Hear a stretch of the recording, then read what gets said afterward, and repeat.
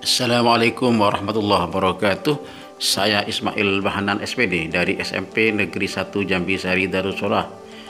Saat ini saya akan berbagi pengimbasan AKM eh, di sekolah kami ada tiga komponen asesmen nasional. Komponen yang pertama adalah AKM literasi dan numerasi. Yang kedua adalah survei karakter. Yang ketiga adalah survei lingkungan belajar. Yuk kita lihat uh, pengimbasan AKM di SMP Negeri 1 Jambi Sari Darussola.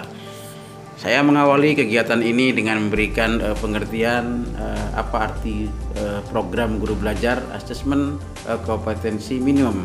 Pada saat kegiatan ini teman-teman uh, sejawat mempersiapkan uh, SIM BKB-nya untuk uh, bisa uh, mengikuti uh, BIMTEK angkatan-angkatan selanjutnya.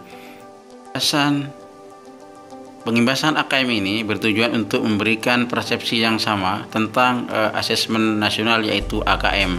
Baik, tujuan program belajar seri asesmen kompetensi minimum antara lain adalah memahami konsep asesmen nasional, memahami bentuk pelaksanaan asesmen nasional dan seterusnya. Bagaimana cara mengukur kompetensi siswa abad 21 dengan asesmen nasional sebagai alat ukur untuk mengetahui ketercapaian kompetensi yang harus dikuasai oleh siswa.